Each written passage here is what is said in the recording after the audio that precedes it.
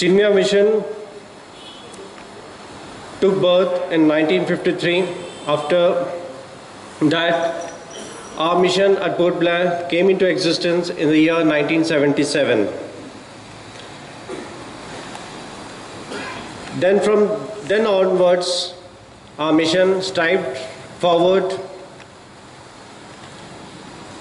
having hurdles in between, but we carried on the activities, the advice, the ideas of Pujya Gurudev.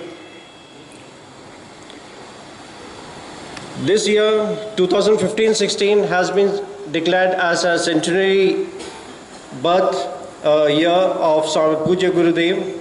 And on this uh, year, we, at Chinmay Mission Port Blair, conducted various programs as one of the main program was Chinmaya Jyoti Yatra.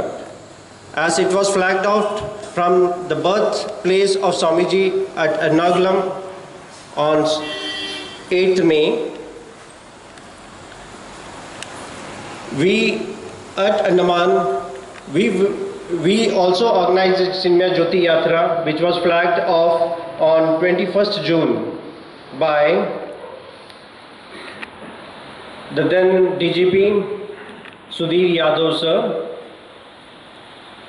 We also had a tableau and a convey of eight vehicles and 25, more than 25 delegates, uh, devotees of our mission accompanied us throughout the journey. We, we crossed South Andaman, North Andaman, Middle Andaman and North Andaman.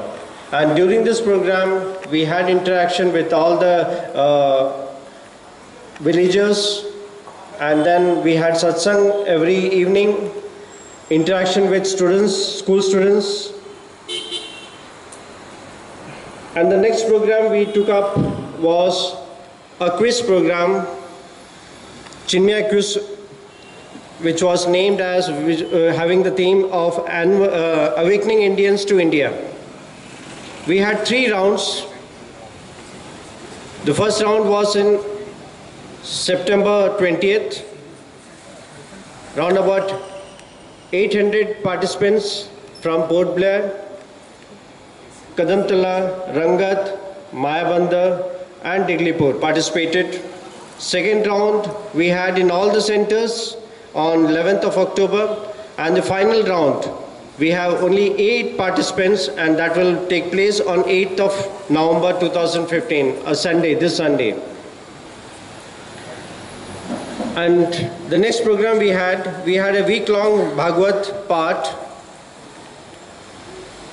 by Swami Sudanand Saraswati ji, our resident Acharya, which was held on 28th October to 4th, Oc- uh, 28th September to 4th October.